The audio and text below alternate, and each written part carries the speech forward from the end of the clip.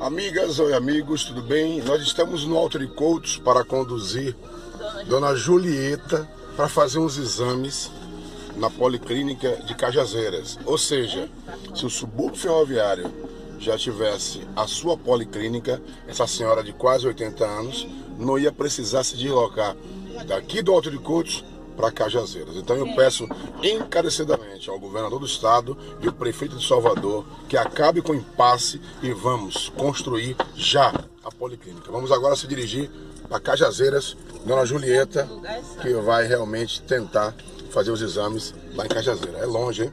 Rádio Suburbana.net. Amigas, acabei de chegar, meus amigos, aqui no primeiro hospital municipal de Salvador.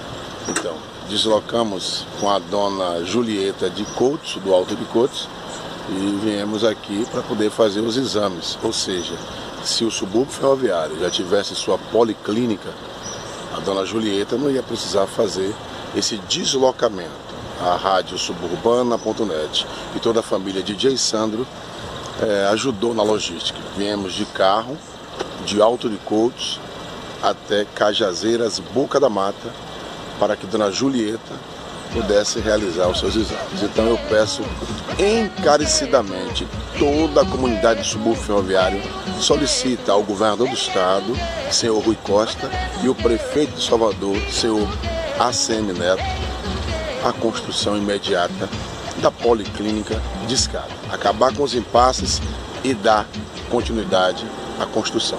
O povo padece, o povo deseja e precisa.